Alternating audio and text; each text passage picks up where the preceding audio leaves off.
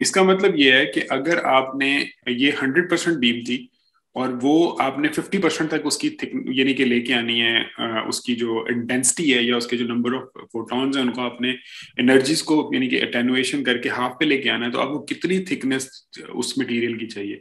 इसको हम half value layer या हाफ़ वैल्यू थिकनेस कहेंगे। ठीक है?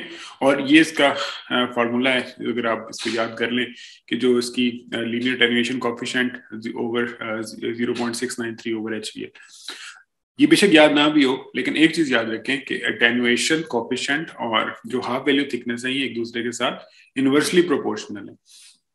इसका मतलब ये है कि अगर ऐसा मटेरियल है जो बहुत ज़्यादा रोक सकता है बीम को, जैसे लेड है तो उसकी हाफ़ करने के लिए आपको बहुत थोड़ी थिकनेस चाहिए होगी। जबकि उसके अगेंस्ट अगर ह्यूमन बॉडी है तो उसकी आपको थिकनेस बहुत ज़्यादा चाहिए क्योंकि उसकी लीनियर टेनुएशन कॉफिशेंट काम है, ठीक है? तो ये बेसिक इसके कॉन्सेप्ट हैं जो कि आपको लीनियर टेनुएशन कॉफिशेंट का आइडिया होना चाहिए। अच्छा अब एक और चीज़ जो कि थ्रेटिकली इंपॉर्टेंट है, और ये आप लोगों ने ज़रूर ध्यान रखनी है कि बेसिकली जो लीनियर टेनुएशन कॉफिशेंट है, उसकी एक डायरेक्ट डिपेंडेंसी जो है ना, वो डेंसिटी पे है। कि जितना डेंस मटेरियल होगा, आपकी लीनियर टेनुएशन कॉफिशेंट उतना ही बढ़ता चला जाएगा। ठीक है? तो इसका मतलब ये है कि अब, और उसका इफ़ेक्ट को हमें ना, उसकी वजह से हम फिर बाकी चीज़ों के ऊपर उसकी कैलकुलेशन के लिए बहुत मुश्किल होती है हमें। तो हम क्या करते हैं? हम एक नया तरीका निकालते हैं। हम एक नई टर्म ड्राइव करते हैं जिसको हम मास अटेनुएशन कॉफिशेंट कहते हैं। मैथ अटेनुएशन कोफिशिएंट सिर्फ़ ये है कि आप लीनियर अटेनुएशन कोफिशिएंट को डेंसिटी से डिवाइड कर देते हैं। तो चूँकि ये भी डायरेक्ट डिपेंडेंट है उसके ऊपर तो डेंसिटी एक दूसरे को कैंसिल करके तो मैथ अटेनुएशन कोफिशिएंट में आप सिर्फ़ उसकी डेंसिटी को रिमूव कर देते हैं देखने के लिए। लेकिन जहरी बात है कि लीनियर अटेनुएशन कोफिशिएंट जो है वो डायरेक्टली प्रोपोर्शनल है डेंसिटी के, कि जितना डेंस मटेरियल होगा, उतना ज़्यादा उसकी लीनियर अटेनुएशन कोफिशिएंट ज़्यादा होती जाएगी। यहाँ तक सिर्फ़ आपको थ्रेटिकली आइडिया होना चाहिए कि मैथ डेनिवेशन कॉफिशिएंट में सिर्फ़ ये याद रखना है कि डेंसिटी का इफ़ेक्ट निकाल दिया। Linear attenuation coefficient directly density पर डायरेक्टली डिपेंडेंट है, जबकि मैथ डेनिवेशन कॉफिशिएंट जो है वो डेंसिटी पर डिपेंडेंट नहीं है। लेकिन हम प्रैक्टिकली जब बाद में इसको कंक्लूड करेंगे अपनी सारी डिस्कशन के बाद तो हमने एंड पे आना लीनियर अटेनुएशन कॉफिशिएंट पे ही है। लेकिन सिर्फ़ आपको ये बताने के लिए कि लीनियर अटेनुएशन कॉफिशिएंट कि अगर हमने अटेनुएशन किसी भी मटेरियल की किन किन चीज़ों पर डिपेंड करती है डेंसिटी के अलावा तो उसके लिए हम ये मैस अटेनुएशन कॉफिशिएंट का वर्ड अंदर ले आए हैं।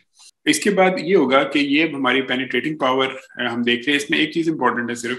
वो ये होता है कि जितनी भी पावरफुल एक्सरे बीम हो या जितनी भी कम एक्सरे बीम हो, इसको आप थ्योरेटिकली ज़ीरो नहीं कर सकते। ये हमेशा कुछ ना कुछ पार्ट इसका ट्रांसफ़र हो जाएगा। उसकी वजह इसीलिए हम इसको कहते हैं कि एक्सपोनेंशियल ग्राफ बनता है कि ये ज़ीरो को जाके कभी भी टच नहीं करेगा। इसकी एग्जांपल ये है कि जैसे सपोज़ कर लें कि यहाँ से मैंने थाउज़ेंड फोटॉन्स स्टार्ट किए। और थाउज़ेंड फोटॉन्स के अंदर से ये जो मटेरियल है ये ट्वेंटी परसेंट रिडक्शन करता है। उसके अंदर जो इसकी फोटॉन्स की पावर के अंदर तो सबसे पहले थाउज़ेंड में आए आगे क्रॉस किए तो 800 आएगा जो कि 20 परसेंट रिडक्शन थी। अब इसके बाद उसी मटेरियल ने इसको 20 परसेंट मजीद रिड्यूस करना है। तो ये अब uh, सिक्सटी कम होंगे और सिक्स फोर्टी रह जाएँगे। इसी तरह ये ट्वेंटी ट्वेंटी परसेंट करते हुए आप देख रहे हैं कि आहिस्ता आहिस्ता जो इसकी रिडक्शन है ना वो ज़ीरो पे नहीं पहुंचेगा ये कभी भी। ये आप इसको डिवाइड करते जाएँ, ये पॉइंट पॉइंट पॉइंट पॉइंट पे चलता जाएगा, लेकिन ज़ीरो पे नहीं जाएगा, क्योंकि ये ज़ीरो को भी टच नहीं कर सकता। इक्वल टू ज़ीरो हो जाएगा नियर टू ज़ीरो हो जाएगा, लेकिन थ्रेटिकली आपने, और ये बात सिर्फ़ थ्रेटिकली इंपॉर्टेंट है कि आप इसको ज़ीरो कभी भी नहीं कर सकते। इसका मतलब ये है कि अगर आप चाहे अपने एक्सरे के, जो कमरा है, उससे तीन कमरे छोड़ के भी खड़े हो जाएँगे तो वहाँ पे भी थोरेटिकली बीम पहुँच रही है। चाहे आप उसको जो मर्ज़ी लेड लाइनिंग करते हैं आप उसको इतना काम ज़रूर कर सकते हैं कि वो नुकसान दे ना रहे, लेकिन उसको ज़ीरो पे कभी नहीं चढ़ सकते। और इसी के ऊपर आपको ये कॉन्सेप्ट क्लियर होना चाहिए।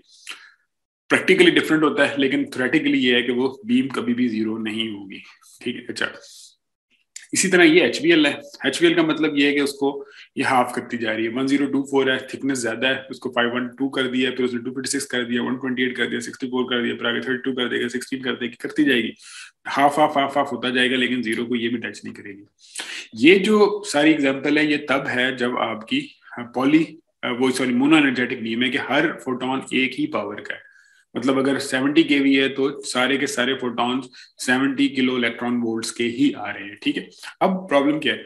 प्रैक्टिकली ये नहीं होता। प्रैक्टिकली ये होता है कि आपकी पॉली एनर्जेटिक बीम होती है। उसमें आपने देखा है, अभी जो ब्रह्म स्टार्लिंग हमने बनाई थी और जो हमने करेक्टरिस्टिक बनाई थी, उसमें सारे के सारे जो है ना, वो तरह के फोटॉन्स थे और बल्कि इवन के कम एनर्जीज वाले ज़्यादा प्रोड्यूस हुए थे। कि जिसमें वो जब देखा था कम एनर्जी वाले ज़्यादा थे, जिस तरह जिस तरह एनर्जीज बढ़ती जा रही थी, वो सारे के सारे उतने कम होते जा रहे थे।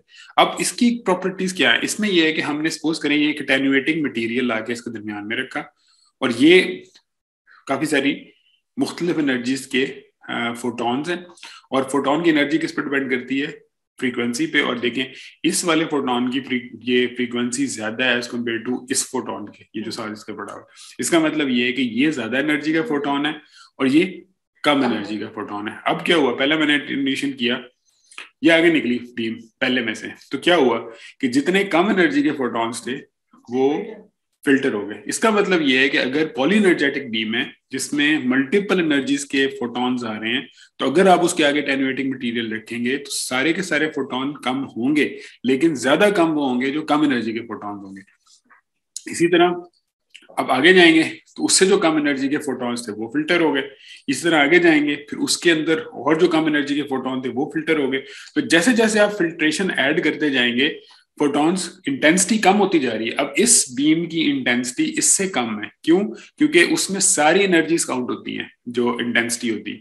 इस बीम की एनर्जी इस बीम से कम है। क्यों? क्योंकि इसमें ये और ये फोटोन मिसिंग है। उसका मतलब है कि इसकी एनर्जी इसमें से माइनस करनी पड़ेगी हमें। तो इसका मतलब ये है कि आप कोई भी फ़िल्टर मटेरियल लगाते हैं तो बीम की इंटेंसिटी उसने लाजमी कम करनी है बीम की इंटेंसिटी हाँ क्या चीज़ बढ़ा रहा है? वो एवरेज एनर्जी बढ़ा देता है। वो बीम की जो एच वी एल है या उसकी जो मिली के जो हाफ़ वैल्यू लेयर थी या उसकी जो पावर है पेनिट्रेट करने की, वो बढ़ती जाएगी। लेकिन बीम की इंटेंसिटी चाहे आप छोटे से छोटा फ़िल्टर भी लगा देंगे इंटेंसिटी कुछ ना कुछ कम हो जाएगी। और ये भी एमसीक्यू है।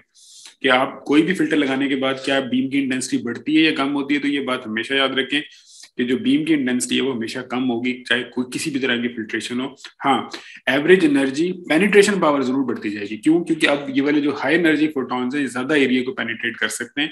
और जैसे जैसे आप फिल्ट्रेशन ऐड करते जाएँगे हाई एनर्जी निकलते जाएँगे लो एनर्जी वाले ज़्यादा फ़िल्टर होते चले जाएँगे। ठीक है?